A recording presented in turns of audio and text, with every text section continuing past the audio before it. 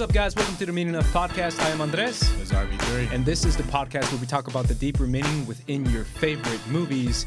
And this episode, we're doing something different. We're doing a TV show, RB3. Uh, a recent and not super recent, I believe it came out a few weeks ago, Yeah. but a recent ish show that came out on Amazon and had the people talking online. That is a Amazon original called The Boys, RB3. Um, now, this is I believe produced by Eric Kripke, who did uh, one of my all-time favorite shows, RB3, which is Supernatural.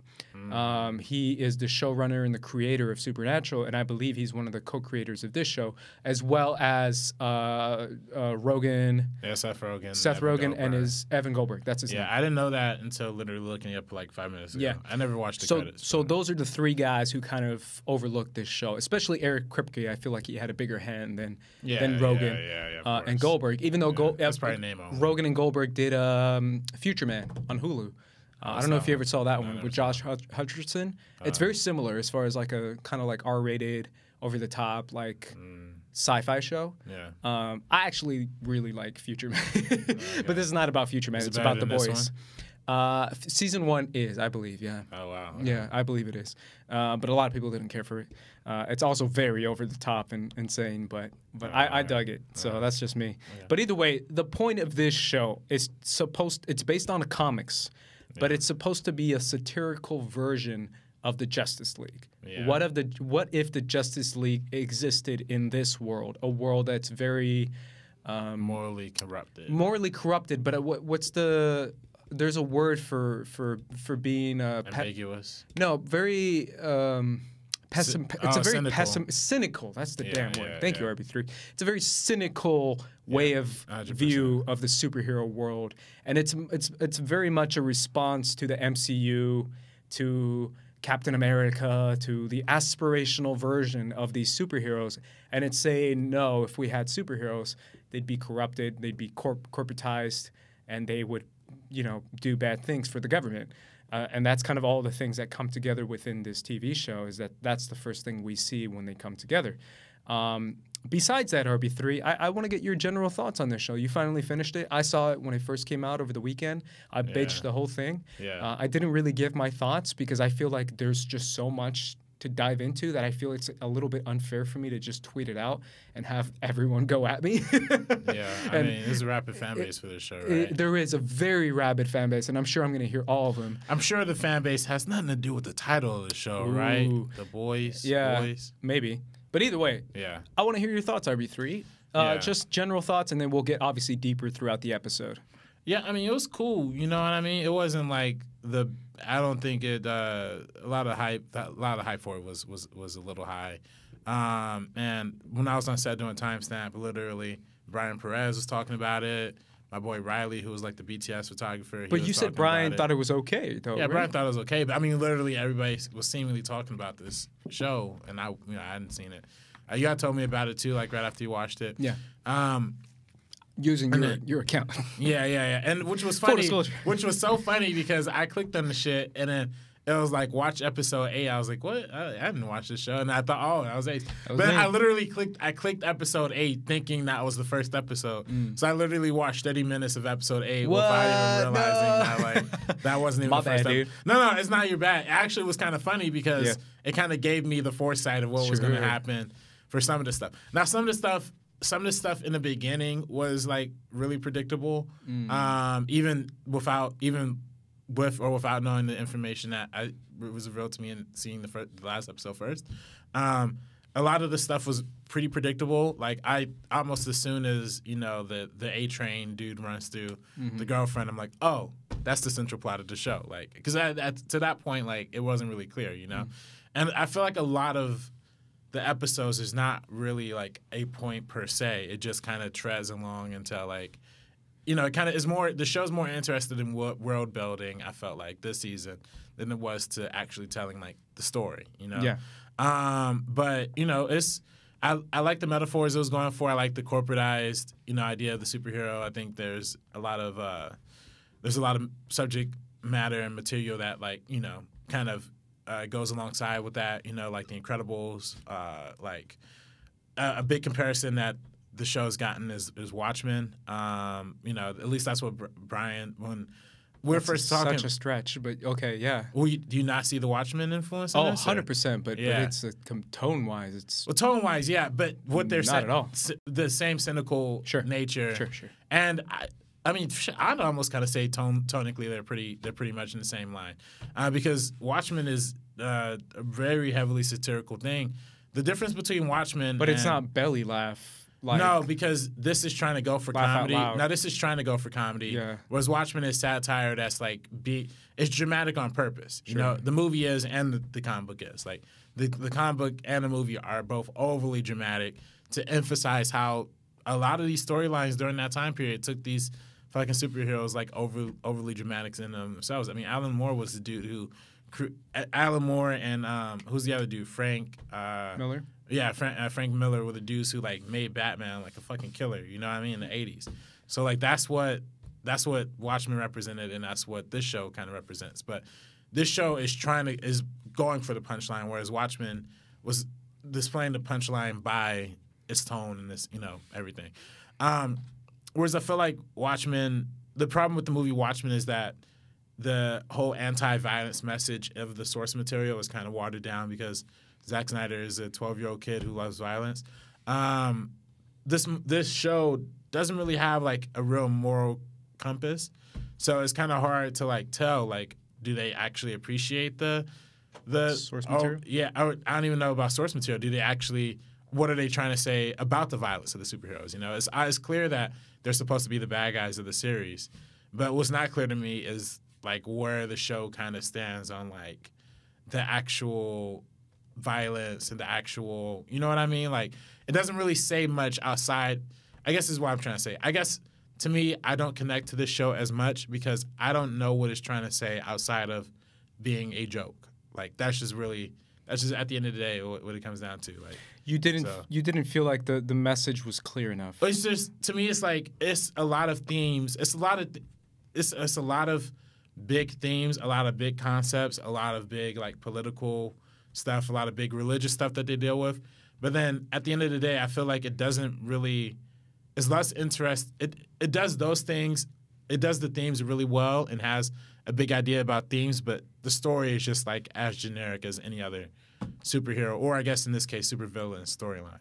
So it, do, it doesn't really elevate, you know what I mean? Whereas to me, Watchmen, the story and the tone work hand in hand. You know, the the evolution of Doctor Manhattan uh, going from this Jesus figure to being ultimately the one who um, takes the fallout for the end of the world. Um, it matches consistently with the tone and the theme and the story. Whereas this, whereas this show has a tone that's like a slapstick comedy, has a theme that's like super dramatic, that's about war and um, privatization of war and all of these like big heavy concepts, and then it has the story of Deadpool. it doesn't really have like it, it doesn't really have a, a full you know thing going for it. So, So you felt like it was all like kind of all over the place and trying to be mixed in together. yeah, But yeah, there- yeah, there- yeah. It was kind yeah, of yeah. not as clear as it should have been. Yeah, yeah, yeah, I just don't think I think the show's a lot. The show thinks it's a lot smarter than it actually is. Interesting. So I don't have a problem with it. I mean, honestly, again, like we talked about last week and previous weeks, um, I'm all for something that's different in the marketplace. You know, it's good that we have something different. It's another superhero show, so it's really not that different. Um, but at least it's a differentiation from the Marvel shit and the mainstream super, now the new DC shit that's basically the Marvel shit. But as terms of the boys itself, I don't think it's really like all that special. It's good, but it's not like the greatest thing ever. Interesting. So, after all that, you say it's it's good, but but not that special. No, I mean it's good. See, that's the thing. Like for me, like if something to me it's like potential. To, potential is the thing I look at the most mm. days. Like yeah. the show had a lot, a lot of potential. It's a lot of build up, and It's it, a it lot could of be build up, and it had developed. and, and it had the great. It had a great setup, great premise, great themes they're addressing. But if it just wasn't this like paper thin story, then I would have probably thought it was a lot cooler than it actually would be. You know. Hmm. Um, but I don't know. Maybe that's just me. No, no, I, I, I had a lot of hot thoughts, a lot of hot takes. Yeah, yeah. and I didn't want to say, like I said, I didn't want to tweet it out just because I was like, uh, Yeah. There's just too much here for me to just simply say it on on Twitter and then have a Twitter fight about it. Right. Um, I thought it was okay. I thought this show was. I, I think the hype killed it for me. Um, I, I- think that's part of it, just because I, I saw it. I feel the weekend after. I think I said I saw it the weekend of, but I'm wrong. I saw it the weekend after. So the hype was just like, "The Boys is the best show ever." Like I literally saw best show ever, best superhero show ever, the greatest thing on TV. The great. Those were headlines from like articles, and I was like, "Oh damn, Yeah. this show must be amazing." Right. I think the hype killed it, man. I, I think I was just going in with such high expectations that the first episode, I was like, oh, mm, that was all right. Yeah. I, I- The first episode had me hooked. But really, Yeah, I, I, I felt like I didn't like the goofy tone. As for, at first, I was Yeah. just like, I like this goofy tone, and then I was just like, I don't like this goofy tone. There's just so much like, like the girlfriend exploding in slapsticky way, and then Yeah. everything, and I was like, oh, that's that's oh, that's intense, yo, that's wild. And then it's like the way he reacts, it's like, oh no, and he like does this, and his face is all covered in blood, and I was like, oh, I don't think I like this reaction. No offense to Jack Quaid, I actually think he's great in this show, um, but I I I think it had it took a couple episodes for me to get into it. Um, like you said, RB3, the world building. There's superheroes. They would be a part of a superhero agency. There would be an actual company that, that is responsible for them, that, Yeah. that, it, that directs what they do, that directs, make sure they, they don't step over the line over the government, that predicts crimes. Like all that kind of stuff is stuff that's great because I know that stuff. You know where I see that? My Hero Academia does that exact same thing, but My Hero Academia is in a much more positive light because they're saying let, we're, we're corporatizing superheroes and we put them in agencies, but there's different agencies that you can pick. There's competition, and I kind of wanted to see that and not just a malop. What's it called? Vought? Monopoly, yeah, Bot? bot. Not very, very clear metaphor for bot. You know, bot, bot, whatever. Um, But but there's in, in My Hero Academia, there's Yeah. different agencies Yeah. that, that that kind of sponsor heroes and get them advertisements and all this kind of stuff. And it's super fascinating, like how they work with the government, what they're allowed to do, what they're not allowed to do. Right. That to me is more interesting than just a monopoly. But they wanted to do the very pessimistic, cynical version, Right. which is fine. They want to do that. Um, and again, Incredibles two address, address that too. that's true. Incredibles 2 And, and that. and it's also one of those things where it's um, I'm very familiar with Justice League. Yeah. like I'm very familiar with the comics and and the characters of Justice League, so I can see how it's a parody and a satire. Yeah, yeah, Uh, yeah. And I'm cool with that. It's the idea of like if if Superman was real, Mm-hmm. and he decided to be evil, and he decided to do whatever the hell he wants. There's literally no stopping. Oh, You can't do shit. Superman is so OP, and he really is like OP that it's like, yo, that's scary, and it really is scary. Uh, Homelander is terrifying in the last few episodes because you're like, oh crap, this guy's a psycho, and he can pop the planet like a zit if he wants. Right. Um, but so I, I like those things, but I just really felt like there were so many moments that were just we're edgy to be edgy and we're Yeah, yeah, was- cool yeah, that's what I middle fingers yeah. f word I said the c word what and I was like uh, I, I I felt so much of it just just being goo- goofy and, and and dick jokes just to have goofiness and dick jokes and Yeah. that kind of took me out of the the seriousness of it that they wanted to Yeah. to get into Nah, yeah, I agree. I, I think that's why. Yeah, it, yeah, I think I agree. It was it was edgy for the edge of, for the sake of being edgy. Whereas I feel like Watchmen also is edgy for the sake of being edgy. Yeah. but it's consistent. You know, like they like ed, like Watchmen never turns it off. You know, Yeah. like. I, for me at least, I mean, again, maybe there's just me loving Zack Snyder's movie too much, but I think for me, it's it's like it's consistently dark and gritty and um, goes nonstop and like how ridiculous it is, you know. Sure. Whereas I think this show it kind of like teeters back and forth. It's like, oh, we want to give you a real human moment, but then we got to go back to the um, bullshit, like you know, s- stuff or whatever, you know. Um, I did think I did think some of the stuff. I th- thought some of the side plots were really funny. I love the whole uh, thing with A Train and, and his girlfriend Popclaw. I thought that whole shit was hilarious. How like they're addicted to the to the juice. Like he's he's the athletic. He's like the Flash version of this. So he's like the athlete. He has to run on TV, but he got to like stay juiced up to stay on top. I thought that shit was really funny. Um, and I also thought uh, I thought um, the whole dynamic between um, um, Star what's what's her name Star Star Star, Starlight Starlight, yeah. I thought Starlight um, and I mm, I think Starlight and and Huey had like a kind of interesting thing. I just really liked her episode, like t- that whole episode when they went to like the the Christian Bible retreat thing. Interesting. So- We'll, we'll get to that because I have a lot of thoughts on that too. Um, yeah. Let, but the rest of the characters, I feel like they didn't give anything to. Yeah. oh, but Mo- do you like Mother's Milk? I mean, I don't know anything about the guy other Sure. than like he has a family, but he's a cool character. Yeah, Lance. Uh, you know who I liked? I like Frenchie.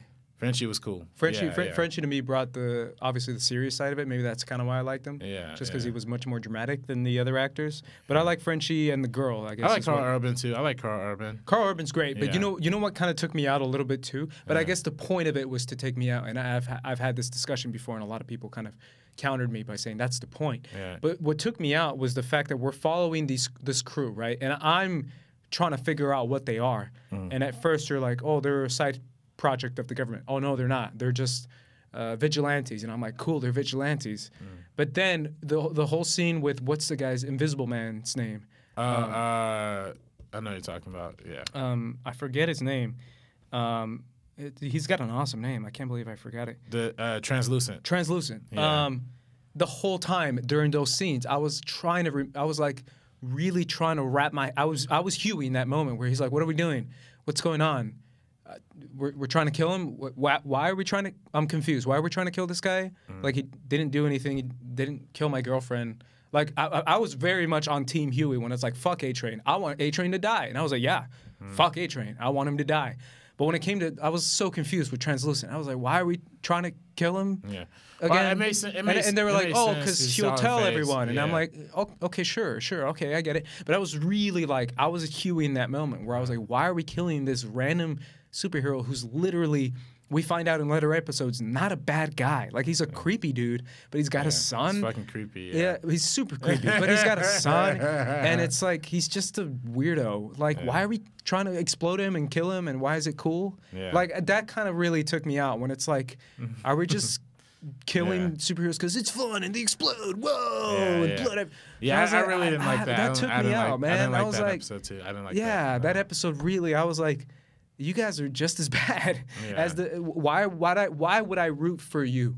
Like you give me no reason. And then Karl Urban's character kind of pushed pushed the envelope even more to the point where I was shocked that Starlight would even consider help helping, Huey. Yeah. Like you just use this girl, you all this stuff, and at the end you just want to. You were trying to kill her. Yeah. And she's cool with that. You're like, I'm cool with you trying to kill me. Yeah. And it's like, Well, mm. like you know, Huey, Huey, Huey didn't try and kill her. No, but he he did. Yeah, home, he tried to homeboy shoot, shoot, shot yeah, her with yeah. the sniper. Yeah, yeah. And That was Huey ran off with him. Yeah, yeah, yeah. I would be like, Yeah, I, I think I'm done. yeah, yeah. but and then, but and then she comes back because she's the cool girlfriend. Like, It's ma- manic pixie dream girl. Right like there. that's what I'm saying, man. That's I felt like that was a little too like convenient, where it's like it's a it's Yeah. a male fantasy. Well, it's it's fucking. That's where I was like, it's predictable. You know, I knew she was gonna come back. Like a lot of shit, you knew what was gonna happen like before it happened. You know what I mean? Like, yeah, um, which is you know, again, like, I guess I guess they thought they you know they could tell the kind of traditional. Um, by the way, it's not a traditional story at all. I think the problem is that like us as a culture have been have been so emulated in the superhero craze for so long that we have gotten so much of the normal superhero movie and we have gotten so much of the subversive superhero movie that the subversive t- the, the subversive superhero TV show isn't just really that groundbreaking anymore because That's a good point. Like we said, we've seen The Incredibles, we've seen My Hero Academia, we've seen um, you know, we've seen Watchmen, we've seen like literally all of these movies. Logan. Kick Ass, Logan. Um, shit, there was one that came out last year. What came out last year? I can't even remember. Um, but we've seen these like self-reflective superhero movies time and time the and time James again. Gunn one came out. Brightburn. Uh, oh yeah, yeah, Brightburn. Super back in 2010 was also Super. a superhero Yeah. send up. Like we've we've been in the superhero craze for so long that the subversive ones aren't like It isn't that groundbreaking. Yeah, yeah, isn't Yeah. isn't the same anymore. So Yeah. I, I mean it's you know to to each his own. I feel like you know, if the boys had came out in like 2010, it probably would have won like every Emmy, Sure. and you know, it would have been like the craziest thing in the world. But Yeah, let's let's go let's go to a little bit of the positive. Like I said before, I'm the biggest Supernatural fan, and some of my favorite stuff is like the, the dark humor in Supernatural, and you can tell like mm. this is the guy who made Supernatural. Mm. That's why I love it. There's a lot of funny moments in these mm. shows, um, and also what I do like is I do like the world building. I do like the idea of trying to get superheroes to go into the military, like the whole senator's plan of like him shooting that down and, and her uh, the agency lady i forget the ceo yeah, the, Um, the breastfeeder. yeah her Yeah. um, trying to get the the bill to be passed that superheroes are allowed to do that. Yeah. and like what's the line of like superheroes involvement? That whole angle that whole stuff is just super cool. I, I love that stuff rb3 i don't know what you thought of it Yeah, it was good. I mean, yeah, it's again, it's it's commentary on the military industrial complex. That's really how that goes. And I thought it was interesting how they even acknowledge that there's real like still war companies like Locking, um, you know, like like like Lockheed, like like Northrop Grumman, all this all that stuff. I like how they reference that as in like those are the entities that are trying to stop this because they will have the most hurt, and that's true. That actually would um, that actually would. Imagine if Disney came into to Congress and was like, "We want to take over war." I, I can only imagine the pushback that like the military-industrial complex would have. Um, so I think a lot of that stuff was really. I think a lot of that stuff was really dope. I think her character in particular like really confused me. Um, really? Yeah. i, kind of liked her well the whole besides the whole milk titty shit yeah, yeah, yeah. That was a little yeah, weird. Yeah, yeah. But yeah. everything else, I was like, oh, it's cool. I just- like a big boss lady who's like Yeah. trying to get bills passed and like manipulating situations. Yeah, yeah. I just didn't like. I feel like her character didn't really have like a moral compass per se. Like she only got mad at the deep for the whole like jerking himself off in front of Yeah, the girls. and we'll get to that, too. after you know. Af- yeah, after the controversy. But to me, it's like when I don't know. I guess to me, when I see a character do something like that, I'm like, okay, so like. You really don't have any principles other than making money, which I guess that's the point of her character. That is kind of the point. Um, but I don't like her. I guess it is good characterization, but yeah, I don't. But I don't even understand what like Homelander sees in her though. Like, you know, I Mm. don't understand like why he's spends the whole season like groveling over her, even especially at the end when when he just zaps her heaven like with no with no regard. Like, I don't understand. Like, why would you know? But yeah, again, Oh. edgy for the sake of being edgy. Okay, I, Yeah. I, I kind of like that. I, I I like that episode, and I like that. I, I felt it as like there's nothing that Homelander is attached to. Yeah. Where it's like even the stuff he likes and even like people he can fall in love with Hmm. is still like not significant enough for him because he sees himself so above everyone. He sees himself as God Hmm. essentially. So if I'm God, even the stuff that entertains me for a minute, I'm gonna get bored of it and I can get rid of it without a thought. That that's kind of what the vibe I got from that scene and that whole interaction um, from Homelander. Um, but I don't know. Maybe that's just me. But I, I, I, I, I really dug like some some moments from him. Mm-hmm. Um, that scene when he when he goes into whatever it is, Iran or Iraq or Oh yeah, Pakistan. yeah, yeah, yeah. That was the first scene I saw. That was the first scene I saw. Like, Yo, That you imagine, bro? Superman's after your ass. Yeah, Ooh. nah, And he's like slicing you in half with his lasers. it's like, Yeah, bro, yeah, yeah, you can't yeah. do shit. Yeah. you know, that, that was a weird first thing to see for the season for me, like, because that was literally the first thing I saw. I was like, whoa, like that does like offer up a big like moral question. Like, if if Superman, now imagine if if Superman wasn't like government sanctioned, like, and Mm. he could just go over there and do that shit like all himself, like.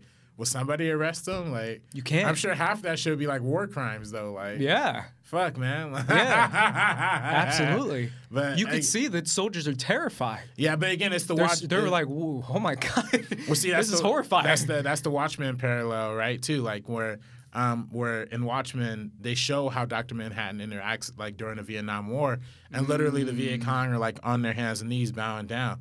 Uh, you know, like once you ha- if you have an, an all powerful force on your side, there's it's, it's like unstoppable. yeah, exactly. So- That you're right, bro. This that that Watchmen shit is, is Yeah, spot on. yeah, yeah. Because He- yeah. and then he even when, when I forgot uh, Doctor Manhattan did that, but yeah, he yeah, does. and he literally blows up somebody in like a Viet in a Vietnam bar, and nobody says shit. You know what I mean? So yeah. that's just that's just the power that that that power comes with. Because what can you do? It's Yeah, literally like yeah. you have this unstoppable force on your side, Right, which is why it's so terrifying. Right. Like if you really think about it, like on a global atmosphere, if I have Superman on my side, Mm. Um, it- Watchmen even talks about it, where like, w- w- what are you gonna do, Russia? Yeah, Well, yeah. Fire all your missiles, fire all your damn missiles. I got Doctor Manhattan. He can make him disappear at the snap of his fingers. Yeah. Like you can't do shit. And that if I'm China or if I'm Russia, I'm horrified. Yeah, Because I'm so scared of the power. U.S. Because the U.S. isn't the good guy in this situation, and it isn't the good guy in this show. No. Because the it's it's it's it's it's filled with greed. Yeah. It's well, U.S. with isn't a good guy. in in any situation. Yeah, yeah. We're trying to be world. RB3. Yeah, trying to be. I don't know. I'm, I'm more not. optimistic in that sense. Yeah. Um, for our future RB3. I don't know. Yeah, yeah. But but in this show, it's like it's so corporatized the superhero world, militarized. Yeah. Uh, and then it, when it comes to uh, the religious aspect, the way they use that to manipulate the the masses Right. to make them believe that this is all part of this grand plan. Yeah, and like then God that's made, that yeah. God made him, and it's like this superhero Chosen plan ones. and the chosen Yeah, ones and all this stuff, and it's like that's even worse because then you have like the religious aspect of it and the Yeah. church going. Well, that's how that's how it's like brainwashed into the people like in this universe. Um, what I do think is super interesting too, and you know, I completely forgot about this until now. Um, the fact that the V compound, V compound, that's what it's called, right? Yeah, v, V. compound. Um, like the fact that um, that Vought was actually putting those in um, the war torn territories and giving those uh, and giving the formula to terrorists, so then they could. Uh, so they Create could create their own terrorists. So you know they'll always be in business. That's exactly what the United States has done consistently, like throughout history. We're literally um, arming um, um, jihadists right now, jihadist rebels um, right now in, in the Middle East. So it just you know it's a it's a consistent cycle as, as if we're funding our own war on both sides just to keep the military industrial complex happy. Yeah. So and that's like Vought taking matters into their own hands and making sure they're funding both sides of the war too. yeah, and it's war profiteering as War well. War profiteering, yeah. Yeah, where yeah. you're trying to get war started. I just rewatched Star Trek Into Darkness, Yeah. uh, and that's literally the whole plot of that movie, and I still find it kind of fascinating. But yeah, you're absolutely right. I love, love, love, love that part of the finale where it's like we made supervillains, and like, what do you do now? Like, you have to have superheroes now. Yeah. Where they're they're always going to be in market. There always always going to be this need, this like supply and demand now of superheroes, where it's profit now. Where Yeah. where now we're we're bu- we're paying or buying superheroes to send them off to Pakistan or send them off to Syria and, and fight wars because now there's people who have superpowers in other countries and now we can legally go into world wars and, and, and, and have that be a part of the, the United States. It's terrifying. Yeah. Um, so it's a, ve- like a, it's a very bleak uh, point of view when it comes to this stuff, which is kind of why I, I, I do I did want a little bit of the positive side because it's what kind of bothered me RB three is the fact that it's one of those things where it's like Karl Urban's character I forget his name already um, Butcher. Butcher has this idea that superheroes are bad and we're gonna kill them and it's like bro like not all of them can be bad there's no like stati- statistically there's no possible way they can all be bad Yeah, his show went damn sure out of his way to show that every single one of them was complete trash. Like, No, but what I- besides Starlight, besides Starlight. Yeah, but but yeah. that's what I'm saying, and that kind of bothered me because I was like, wait, you're telling me that how many did they say there was superheroes? seven or no, I don't know how many he said overall. I think they said there's like uh, a, a couple dozen in each state, right? Yeah. So let's multiply that times 50. Yeah. There- There's at least hundreds Yeah, of superheroes. Out of hundreds of superheroes, you're telling me they're all. You know what I'm saying? Like Right. there has to be a, a little bit of of, you know. Yeah. Light and dark between all this kind of stuff Nah, that's they, going on. they went out, they went out of their That's what fucking I'm way saying. to just show you everybody's a complete. Except also the Wonder Woman stand-in. I forget her actual name. Maeve. Queen Queen Maeve. Queen Maeve, Yeah, yeah. uh, she uh, she's not the worst either. You know, like Yeah. she she tried to save the people on the plane. She's still manipulated though. Yeah, yeah. Let's go to the let's go to the uh, uh, the church panel episode. But I do want to say though, I think did I already mention the deep like jerking himself off in front of Starlight? Oh, you want to go to that first? Or is that is that first episode or? Mm, yes, it is. Oh, okay, okay. Um, all right, let's. I let's just jump- wanted to, I just wanted to just wanted to mention like that's a real life Hollywood situation. Yeah, So- so so this movie, this show, I'm sorry, it goes out of its way to kind of talk, about the, The Me Me Too. Too it's kind of like it doesn't do it really well. RB3. I don't know if you agree. is true, yeah. It kind of it's awkward. I don't know. It's Yeah, super yeah, awkward the way they do it. Um, I don't know if you you thought it was awkward too, but I, I thought it was kind of like it was weird. I don't know. It just felt like where she's like, "Don't touch me again. I'm a woman," and I'm like, "Okay." like you can tell a dude wrote this. Yeah, yeah. it just felt I don't know. And It then it's like a running sure. theme of, of the whole uh, season as far as like he got me too, he got canceled, so now he's like all sad and he's in Ohio and he's talking to fish and Yeah, he's yeah. trying to find himself. And Yeah. I, I did that work for you, RB three? I don't know. Well, it didn't. I don't know if it like worked, but it, I thought it was. I thought it was like funny. It's re- that- it's real. That's a real real. situation. Yeah, yeah, yeah, yeah, It is real, but I again like um, I think the fact that he, I think the fact that the deep had the kind of ego, the kind of ego that he could just do that to like the new girl, like. Which, by the way, it's not like she's like the intern. Like that's literally like the seventh member of the team. Like, Yeah. I thought that was a little like, come on, man. But I think otherwise, like she, I, I think she could have had the power to say something like before, you know. Sure. But um, but um, I do think that you know, at, at least at the very least, it does address somewhat of the kind of poisonous, toxic situation that is Sure. like power dynamics and stuff like that. But uh, I don't think it did it like particularly well. But at least it did it. I guess. Yeah. I don't know. I just felt awkward. Yeah, yeah, And the way they would go to yeah. cut to Twitter and just be like, "I'm on her side," and I was like, "Cool, I guess." I don't know, because then and then the running. Uh, well, let's get into. Let's start. Let's start with the deep. Why not? I was gonna get into characters, but the deep. Yeah. Did at any point throughout the season, did you feel bad for the deep? No, no. Really? No, no. I did. You did? Yes. Man, like, I felt bad for the deep, yeah, really. and I like, maybe just because Cause what, like when- maybe just because I'm a really hardcore animal rights person. RB yeah. three. Oh, when they killed the lobster friend. it- n- all of that stuff didn't Yeah. work for me. Yeah. It just didn't work. Obviously, the, it was funny and all that. Yeah. Um, Yeah. but I really feel like the Aquaman vibe of like helping the marine life and helping all that stuff is actually eh, really important. in, It is in- really in our world today. But I think so. the- I feel like the- why are we making a joke out of jo- like the joke, the I don't joke, know, the joke is RB3. that Aquaman's always been a joke. Like I that's the get that, but like the, help save marine li- uh, uh, uh, uh, sea life and help save all this stuff, and like that to me actually is really important to me. Yeah, yeah. And I'm yeah. very like vocal about this stuff. Yeah. So the fact that it was like a punchline, I don't know, man, Yeah. and that's super personal for me. Like I can't hate on you for loving it because obviously it was, you know, if some people find it funny, it's funny. Right. But for me, I was like, bro. Maybe I'm rooting for this guy because he's actually going out of his way to like try to help like creatures and try to help the sea life and try to save the freaking ocean Yeah. and the planet. Like that's actually important. I don't Yeah. know. I, it just took it just those little moments where I'm like, you know what? I'm team deep. Count me in. Team deep. Even after, see, that's the thing. I think I think the show showed you the first. I think the show's literal first introduction of the deep. Yeah. it's him like with his dick out. In front of the Yeah. I think that's the show's But way the of end telling of the you. show, like- it showed you, you know, the the it tr- it goes out of its way to kind of make you want to feel bad for the guy. Yeah. Doesn't it? I mean, I think that's the. I think the show's intent is like to make him the most irredeemable character and try to and get and then try to redeem. redeem him. Yeah, but I don't think. I to me is like to me You don't like think he got redeemed at all? no. I I think Okay. the show just fucking. I think the show like doesn't. They don't have a hero moment for him at the end, do they? Like they don't have a thing for him. They don't to- have a hero. Mo- they have like a feel bad for him moment. Though. Yeah, yeah. I mean, I it could be feel bad from. I took it as laugh at this motherfucker. You know Okay. what I mean? Like like the lobster thing was funny. No, no, all I this stuff. I'm saying the yeah. end end. Which was the Was still end? laugh at him Which one? when he's like naked and shaving himself. Uh, yeah. To me, that was laughing. Yeah, I was fucking laughing. Like, it's this. I mean, it's like ultimate depression. And watch, he's probably gonna be a supervillain next next year. You think too. so? Yeah, probably, maybe. I don't know. Just, Maybe. just a guess.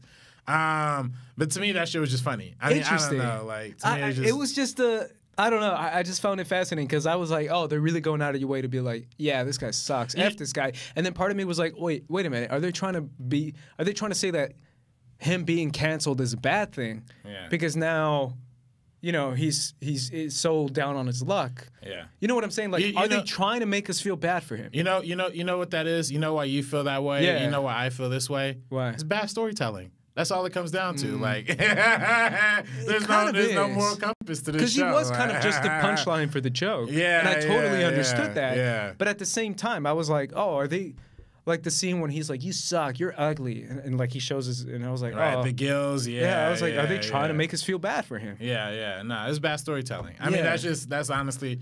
I think when we chalk down a lot of the problems that people have with the show, or at least that I have with the show, Sure. it just comes down to not having a fully thought out idea. It's more for the, it's going more for the joke than it is for an actual thing. You know. Yeah, let's talk about uh, let's talk about the boys. Uh, who stands out from this team? We have Mother's Milk, we have Frenchie, we have the Japanese girl, the female is her name. It's female. Uh, we have Huey, kind of being the the shonen character, the the, Yeah, the- bright-eyed the- and bushy-tailed young boy who's Yeah. thrown into a dire situation and he has to man up, Yeah. kind of thing. Super anime, like incredibly anime. Yeah. Uh, I don't know how much shonen anime you watch, but that's literally the the formula of this kind of storytelling, where he's like, I don't know what I'm doing. I'm just this, and uh, I came from this, but now I have to find myself and Yeah. become a man, kind of Yeah. thing. That's kind of like Huey's character as a whole. Right, right. Um, what do you think about the team? Um, team is cool. I mean, the team is. I feel like.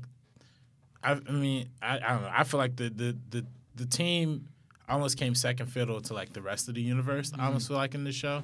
I mean, the show's called The Boys, but I feel like the the seven is probably the more uh, appropriate title for the show because I feel like we spend more time with those heroes than we do with like the actual protagonist. Maybe I'm mistaken in that, or maybe I was just more interested in the hero storyline. I don't know, but I think that the the the the guys in and of themselves. I mean, you know, the butcher doesn't really have a moral. You know, he doesn't. He he he just wants to kill every superhero, Superhero. that he can find. Um, which again, I guess if your wife was raped and by Homelander and like all this, uh, and they tell you that she's dead, but she's not really dead. I mean, and again, like I guess that's what also kind of got me weird about the show because like I could also see from a mile away that she wasn't going to be dead the whole time, you know. Um, but um, but he had an arc. I feel like Ar- Huey Huey had an arc. He had a motivation, but I just wish he would have just committed to something. Like it felt like almost every episode he was like flipping back and forth, like ah, like I'm so into it. Or the next week is like ah, but like I like my new like superhero girlfriend. Ah, but like I want to get A Train. You know, it's like it, it just kept going back and forth Yeah. and back and forth. Interesting. from for that. So, I mean, that's my only thing. Yeah, you know? let's let's talk about Huey because he's our he's our main character and he's kind of our POV. Yeah. Um, it, it, we come from this rage moment of like, I want to kill A Train kind of thing, right? And that's kind of what sets him down on this path.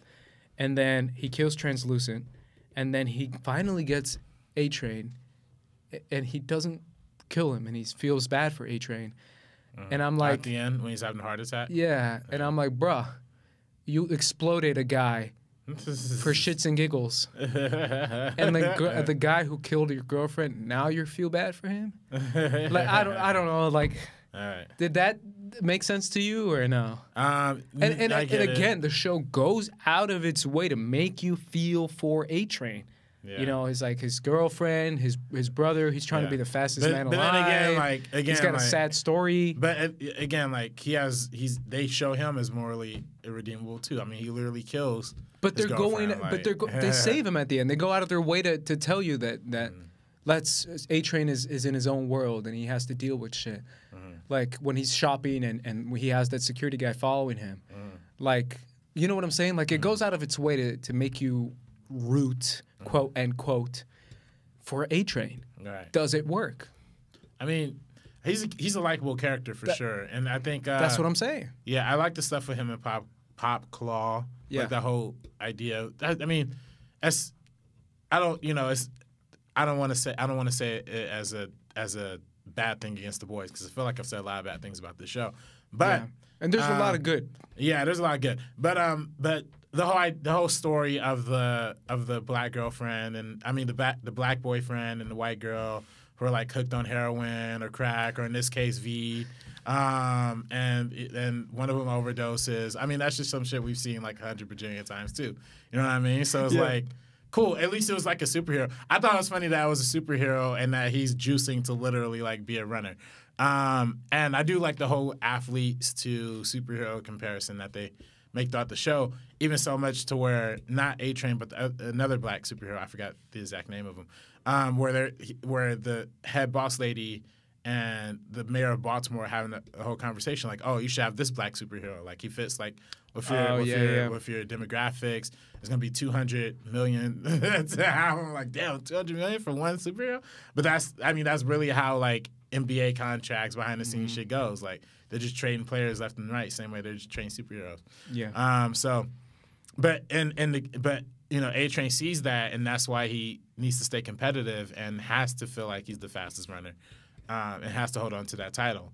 Um, so it has some good stuff. It has some lackluster stuff, but I mean, overall, like I did, I did really enjoy having. Um, Having a black stand-in for the Flash, uh, and you know, being the fastest, it kind of even the racial parallels are like inevitable there too. Sure, so sure. it's- Even though there was like the, the next guy was like a Latino guy. Oh yeah, yeah, yeah, yeah, yeah. The one right next to him. Yeah, I forgot his name. Adam. Yeah. Um, but yeah, so did you like the character of A Train? He's the I first mean- guy we see do something Yeah, effed up, terrible, and then at the end we're supposed to root for him. no, I don't. No, I don't. No, he's he's irredeemable too. I mean, Right? Yeah. I didn't. I, I. To me, he he lost redeemability when he killed his girlfriend though. So That's what I I'm saying. really, you know. When he Um, killed his own girlfriend. Yeah, when he killed his own girlfriend. Yeah. Exactly. Exactly. Um, let's talk about Frenchie. What do you think of uh, this character? He's an Israeli actor. Oh, nice. That's crazy. Like he's not even like French at all. yeah. But is he like from France or? No, he's just Israeli. Oh, that's dope, man. Hey, good for him. yeah, good for him. Yeah, good- His name is accent. Tomer Capone. Hey, nice. Um, I think he's just Israeli. What do you think of his character? Yeah, it's cool. I mean, he didn't really have like a whole lot, like you know, depth wise, but Sure. I think he was a fun character, and um, and his romance with the crazy, um, Japanese girl. yeah, yeah, yeah, yeah. You said it, not me. So Well, that's what she I'm just kidding. I'm just kidding. uh, Karen Fukuhara, who plays, uh, I believe, Katana. is in she related to, to Carrie Fukin? Oh, oh, oh, she does. Yeah, Oh, nice. She's in their superhero property. yeah, yeah. She barely had a walk-on cameo in, in that movie, yeah. in Suicide Squad. This is Katana. She's got my back. yeah. I would advise not getting killed by her. Her sword takes the souls of every person she kills. yeah, she might have had more show, more lines in this show than she did in that movie. Like, Uh, I might be wrong. This might not be her. No, it is her. It's, it's her. It's totally her. Damn, man, one Japanese girl per, per per superhero franchise. Is that what we're doing? Um, no, uh, there's a. Who's the other?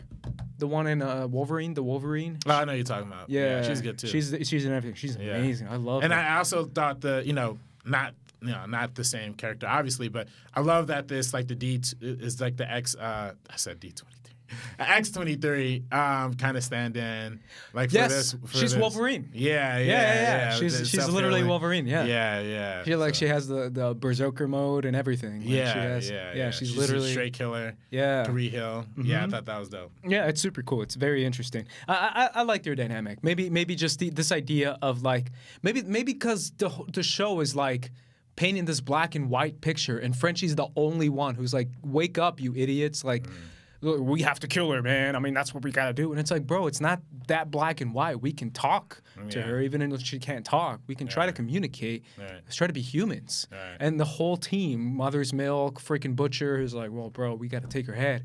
And it's like, it's not that black and white. And maybe that's why I liked Frenchie. Mm. And that's what he's the one character that I latched onto because he's got the moral compass of like using common human sense. decency and sense. Yeah. Um, that that's one thing that stood out to me where it's like, bro, you can't just be that black and white about every situation. Yeah. There's there's you know things that go into people's lives. Yeah. Like chill. Yeah. Yeah. uh, so maybe that's why I related to him the most. Um, but what'd you think of Haley Joel Osment as the uh, sidekick? That was funny. That's dude. probably the most meta Yeah. part that they could given. He him. comes up in every. He's in uh, Future Man. He comes up in really? all Seth Rogen's stuff. Oh, all really? TV Uh, stuff. Haley yeah. Osment. Yeah. but see, I think it's funny that he in this show he was the kid Yes, actor you're who was like right. super popular. That's so a meta, kid, yeah. And then just and then also his whole thing is like reading people's hands, like you know, see, I guess seeing visions, like same thing as like uh, you know, seeing dead people in um in the Shyamalan flick. What the fuck was that movie called, man? Six Sense. Six Sense. There it is. Yeah. Yeah, I've been sitting here thinking about that. But yeah, it's just so funny that that's his power here, and the kid actor thing. It's just too perfect. It's perfect. It was know? great. I wish they would have actually used footage from like his early movies, like in the in the actual kid advertisement shit, like Yeah. just maybe like digitally. By the way, is DC gonna pull up on Amazon and like sue them for this show? Like, Nah. 'cause this, is probably- almost too similar. Uh, but it's it's parody, right? yeah, but I, you could just be like, it's a parody. I know, but this is too similar, bro. The Superman and the Yeah. Homelander, like literally the exact same powers, the exact same Wonder Woman. Wonder Woman, like it's literally. Flash, I mean, you can you can interpret Martian Manhunter and Translucent as like the same Sure. person. Yeah. Black Noir and Batman. Yeah. Like it's really too similar. Yeah, but it's it's it's you can just file this under parody. yeah, like that's your defense for it. Yeah, and that's how they don't get sued. Is just be like it's a parody. Yeah. Easy. Yeah, That's, I mean that's, that's, this- how I would pitch it. This is the if most. I was a lawyer. I know, but this is the most on the nose parody I think I've seen. At least like Watchmen is kind of subtle with it. You know, Yeah. like like uh, who's who Night Owl? Night Owl is like a combination of different people. The other girl's a combination of people. Sure. They all combinations of people, but like this is just like straight. You know, it's crazy. It Uh, it very much is like a ripoff of Yeah, the main yeah, characters. Yeah, Justice League. yeah, Hall of Justice and all that. yeah, yeah, Room. yeah. absolutely. Yeah. So Um, all right, uh, we got to go to break. Yeah. Uh, after break, we'll talk about a little bit more. I kind of want to talk about the religious aspects of this show, and I, I know we talked about it a little bit, but there's Yeah. like three episodes on it, so I think we should talk about it a little yeah, bit more. for sure. Um, let's go to break.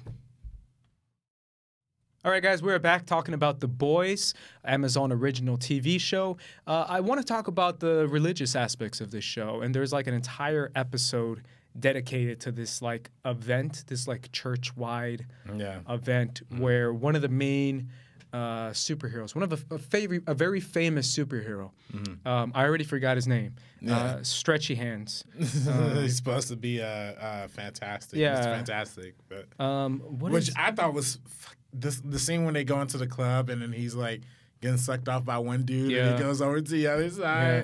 stretches over. I thought that was hilarious. Yeah. Uh, um, I, I don't see his name right here, so I apologize. But either way, you get the, the image. You know who I'm talking about. Right. Um, he's supposed to be this very vocal televangelist preacher, Yeah. very famous. Mm-hmm. Um, and he's also very anti LGBT, anti homosexuality, and he thinks it's a sin and it's evil, and he preaches about this kind of stuff. Right. Well, at the same time, he's obviously very openly homosexual and he does whatever he wants, and Right. he he's a very vocal hypocrite. Right. As the the classic hypocrite, right? Yeah, I mean that's the classic like preacher, you know, um, Hypocrisy. did, you know, yeah, hypocrisy that a lot of a lot of actual real life people uh, kind of get caught up as. Yes, uh, very much so. Who's so the who's the who's the preacher? Eddie Long. Uh, Eddie Long, who was like the. I thought that was funny. His name was Eddie Long. You know what I mean? Like yeah, Long. Okay, I guess that's just me. All right, whatever. like the deep. You think Yeah, it's the deep. Yeah, that was a Yeah. good one too. Yeah, man, this show's made for you, bro. Hey man. Uh, but either way, uh, full disclosure, I used to. Uh, I grew up in the church, obviously, and I, I used Right. to intern for for a lot of the youth groups and all that stuff. So I'm very, very, very familiar to how church churches run in the background. Um, and there's a lot of politics there, and, and maybe that's kind of why I was turned off to a lot of it. Um, but I still try to be a little bit more positive, and I try to see the positive of it. right. However, there is a lot of politics in church, and there is a lot of politics in in, in uh, religion and in faith, and currently in the United States. So it's a very interesting angle. The fact that they're selling you that these superheroes were somehow chosen to be divine and to be chosen by God to to lead their flock, so to say. Right. Um, and this is the example we get of it. And the fact that Annie uh, Starlight, Annie January, is grew up with this community, so she knows it very well, and she's being used as a tool to being told what to say. Right. What do you think of this episode, RB three? Yeah, I, I thought it was interesting. I think it uh, it really goes to show the exploitation that uh, the exploitation of religion and how that helps ease in a lot of like outlandish beliefs. You know, um, I think the whole idea of using of turning of, of you know we you know the whole general theme of the show is that like the superheroes are the chosen ones, right? They're the ones that were picked. Hand, they say that in this episode, handpicked by God. You know, um, which is uh, you know it plays into what the real life implications of the storytelling device of the chosen one narrative. You know, the chosen one narrative that Harry Potter has, all these other big franchises has. It goes to show how in the real world that would be implicated. Like how in the real world we do believe in the chosen one narrative with Jesus Christ. You know what I mean? Like, I was gonna say Donald Trump. no, oh, well, yeah, oh see yeah. last I mean, week? He called himself yeah, the I- chosen I one. know, I was, I was, He's the second Trump- coming of God, Trump, bro. Trump He tweeted this out. I know, I, I Second I know coming of God. it out. This is who Yeah. evangelical support RB3. Oh my God! I tweeted it out. I Jesus know. Christ. I know. I know. But hey, man, listen. Every church in the United States should be ashamed. Yeah. God. Um, hey man, he if Trump want to keep calling himself, I mean, but that goes to show you what kind of man he is, though. You know what I mean? And that goes to show you He doesn't even believe in God. Yeah, well, it goes to show. I mean, didn't you? There was. He doesn't read the Bible. I was gonna say, did you see a clip Yeah. of the Bible? And they're like, "What's He your has no verse?" clue. He's never read it in his life. never even picked up And shit. Christians love this guy. Come Yeah, on, yeah, yeah. wake up. All right, back on track. That was funny. Um, But this is why this is it's real, right? That's why people. Why, that's why the show Yeah. brought it up, Right, right? right, right. And it's real, and it's real to the extent that it is used for uh, political sake too. I mean, 100%. companies do go out there and use um, religion as a, as a source to like monetize, monetization.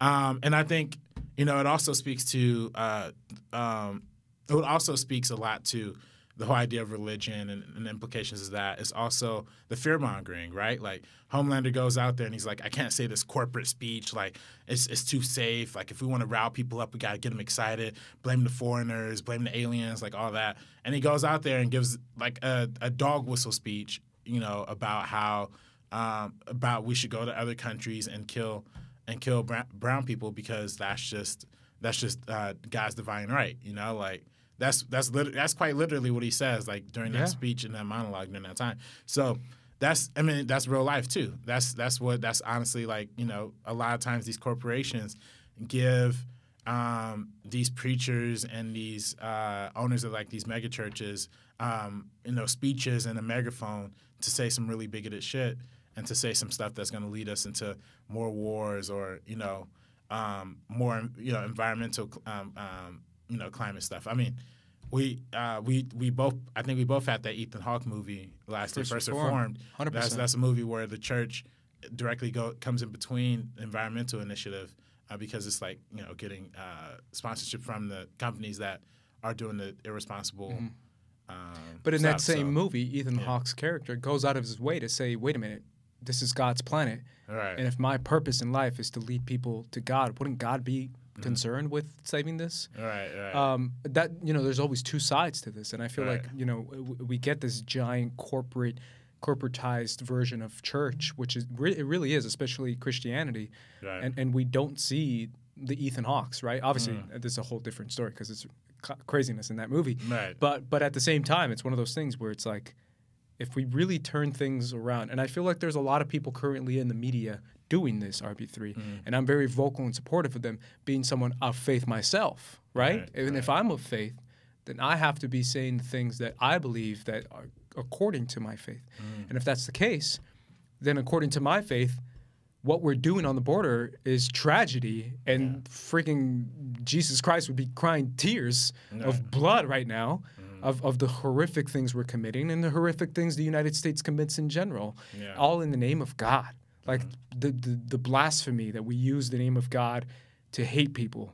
and to, to condemn them Mm-hmm. Yeah. and it's like it's the complete opposite of, of everything that Christianity should stand for. Mm-hmm. Right. But that's a whole different conversation. It's, uh, Stephen Colbert is an example of someone who's very vocal about that, right, Mm-hmm. right, about right, his, right. his faith. And he's like, oh, I'm a Christian. yeah, yeah. I, I, I don't support anything that is Yeah. going on right now. Nah, yeah, me too. And you know, it's I, I feel like people, you know, pick and choose what they want to take from the Bible. Yeah. Like, and- I think the show even does a good job of addressing this too, where it's like Starlight's character. Yeah, Starlight's character She's says like, I'm a. Christian, but Jesus, Yeah. calm down. Yeah, yeah. Well, she even said she even says like she says the Bible says you can't eat shrimp. Like, why, why aren't y'all motherfuckers following that one?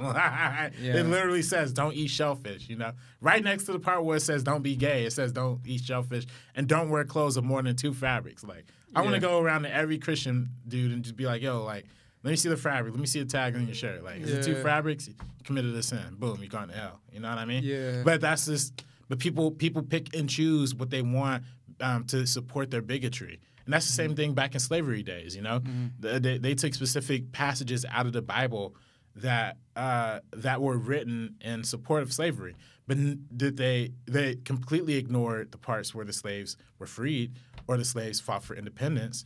Um, but that's not something that you know they used that warped interpretation of the Bible to keep black people enslaved. So Mm. Yeah, there's there's a lot there, and and it's it's interesting. However, I, I do feel like there is a lot of like villainization of the church, and I'm not necessarily pro that. yeah, Arbitrary? Eze- Ezekiel was the character. Name, Ezekiel, way. okay, Yeah, yeah, yeah. got it.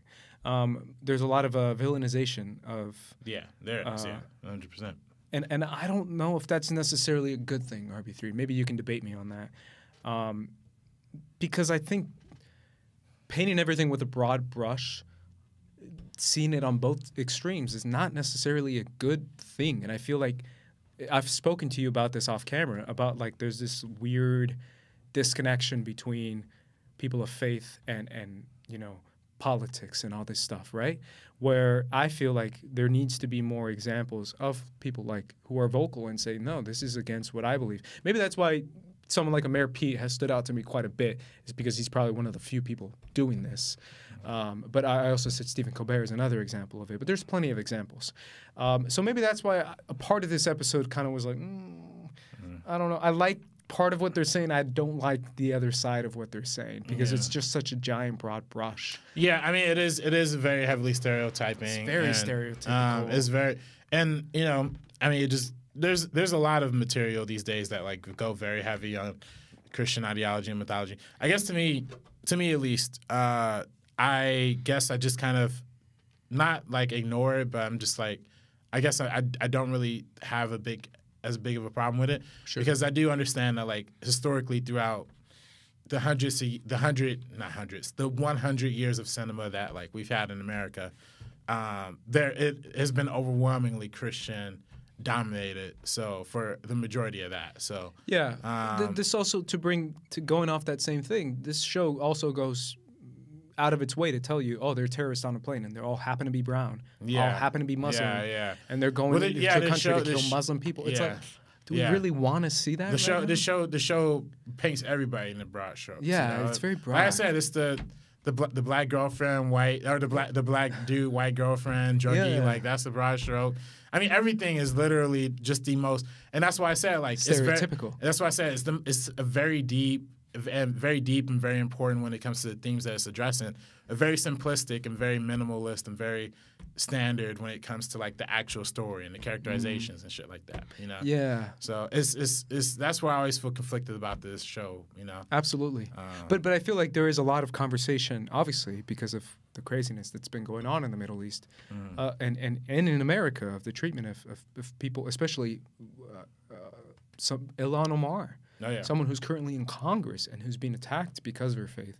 yeah, Um, so that's a big deal. Like Yeah. this this happens. yeah. So I, I think it's not necessarily the best thing to do. well, the riot, there's been a, an, an, um, an insane rise in hate crimes towards um, uh, Muslim brothers and sisters Mm-hmm. um, in the wake of the Trump presidency. Yeah, and, and I feel like if you really get down to to the mu- the Muslim faith, and, and I've dabbled, I'm I ha- I'm not necessarily an expert.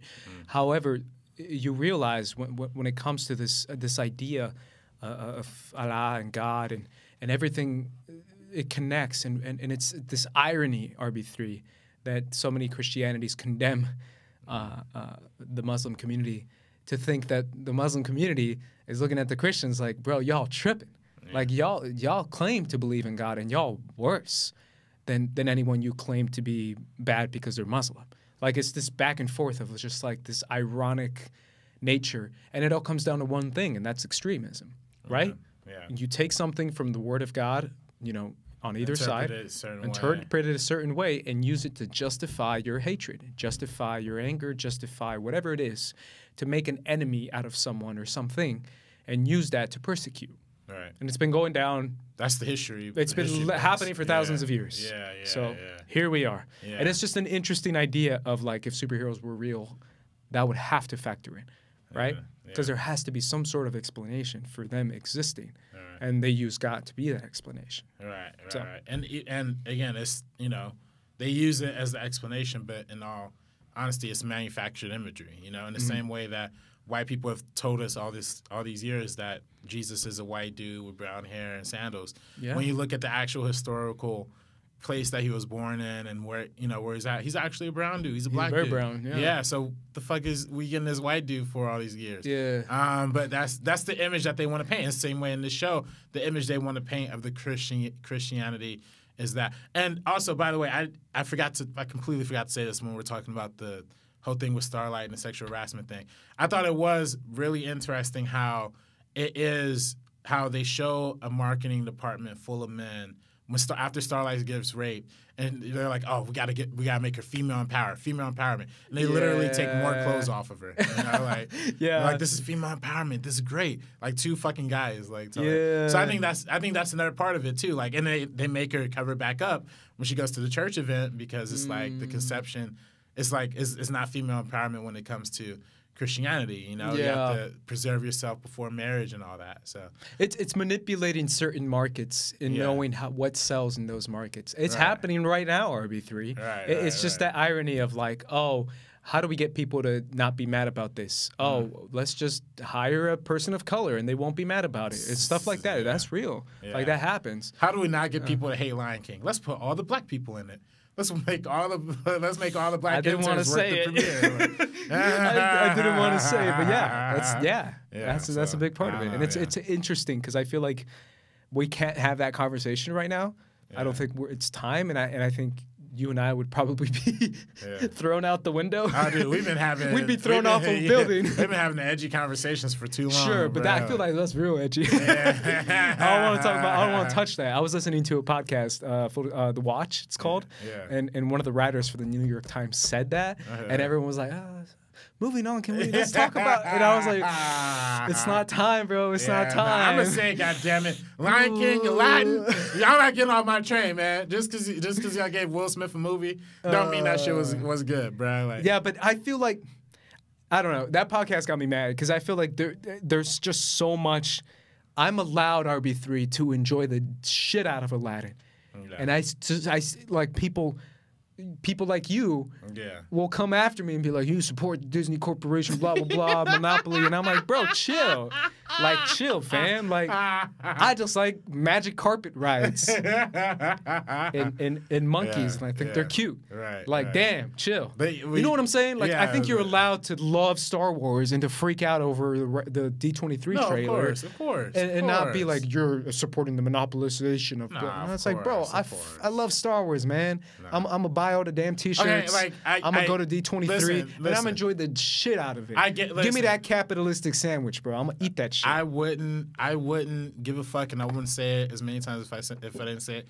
If I didn't know the studio next door, then go up there every day. It was like, oh yeah, Disney, Disney, Disney, ah, Disney, ah, Disney Plus, ah, ah, ah. Yeah. Like, come on, dog. Like, I get it. We get it. We love Disney. I love Disney. I love Disney. Yeah, we all love Disney. but what's wrong with that? But damn it, man, we kind of only love Disney. We're talking about an Amazon original, Yeah, man. I know, boys. I know, but it's the same shit. It's like we're talking about we're talking about superheroes again, man. We're talking about the same shit, and I just feel like the only thing that I I, I feel like I feel like the Disney Corporation really sucks out. No, I love Disney. I don't even want to say it. I think this. they're- but I think what it is is I think people are frustrated because they want something a little more. Like I think people who own who own you know if you only like Star Wars and you only like Marvel, all power to you. That's great. Salute. You know I'm I'm I'm with you. I'm you know, I'm I'm pro pro getting what you like. But I think people who want some some more like Charlie Kaufman, I think people who want a little more Tarantino, people who want a little more, you know, Ava DuVernay, uh, get a little frustrated because it's not it's not we're not getting we're not getting as much as that as a I agree with you. I counter by saying those same people kind of raise their nose at me for, for, for being like, well, these simpletons with Yeah. their big blockbuster superhero movies when we all really know the real movies. And I'm like, bro, like, y'all for real? Mm. I'm I'm okay. Last week I saw The Farewell. The Farewell could be my favorite movie of the year, and I could Yeah, say I I still haven't love this indie movie. This Yeah. is my movie. Yeah. And at the same time, I can cry in Endgame. Yeah. And I can You cry in. Star I Wars. cried in and buy the, all the damn T-shirts and go to D23. Like, bro, it's not one or the other. Yeah, you can like, do both for sure. Pe- people trip about like, oh, you got to pick a side. You got to do this. You got to. it's the same thing with my Christian faith. It's the same thing. You got to Yeah. pick a side. You got, bro. Mm. Chill, fam. I'm allowed to do what I want. Yeah. And someone came at me because I was tweeting about Latinos in movies, bro. Like la- there is no Latinos in movies. Yeah, I saw an like this that the, that article that the report. If you read the whole damn report. The least represented group, like bro, and we watch more movies than any other ethnic minority in the U.S. and Canada. Like this is real, and, and I'm allowed to be upset about this. And someone came at me like, "Oh, bro, what about the rest? What about Asian people?" And I'm like, "Bro, I love Asian people. I, I, I'm allowed to do both. I'm mm. allowed to be like support the Asian people and go watch, you know, Crazy Rich Asians and The Farewell. You watch you watch Wu Assassin?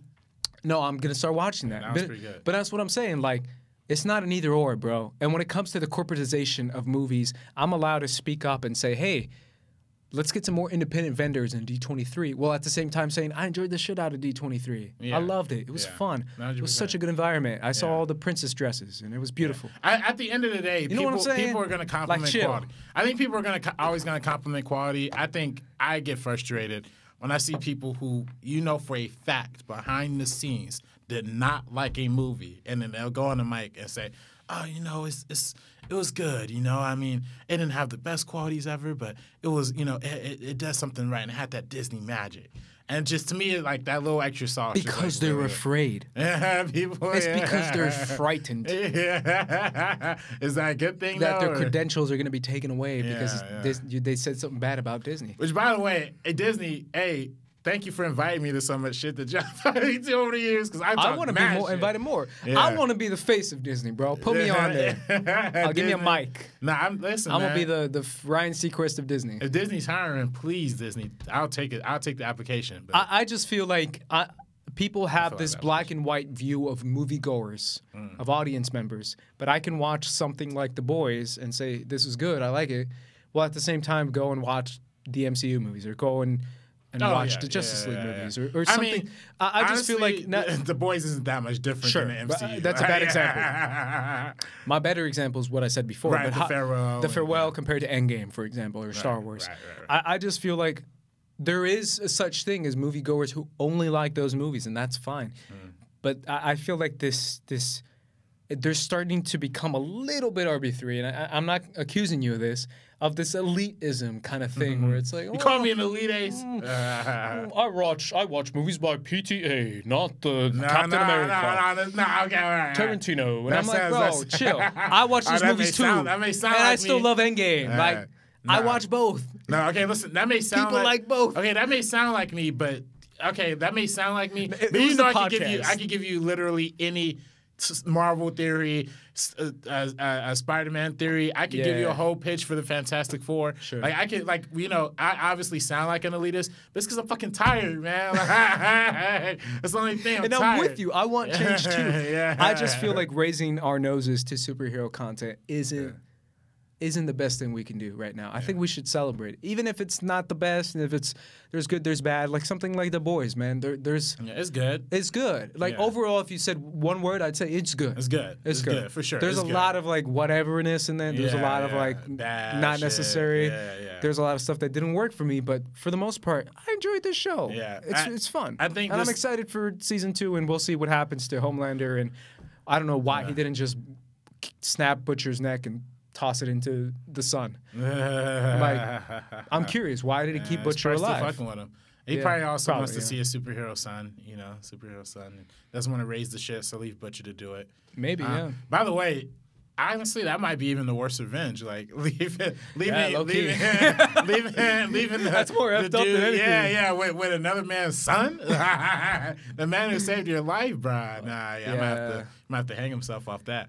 Um, but what I will say though, you know, before I completely, you know, before we completely finish this up, Yeah. um, I will say, like, even though, um, even though it may appear that you know, a lot of even though even though a lot of us do get frustrated, even a lot of film Twitter gets frustrated by the remakes and the live action remakes and all that, uh, all that stuff. At the end of the day, uh, we all have childhoods. So I think I think what um, I think what comes down to why people have such differing and are so divided on a lot of these issues is because in their childhood they they they learn they you know people yearn for a different type of cinema than once they're uh, adults, you know.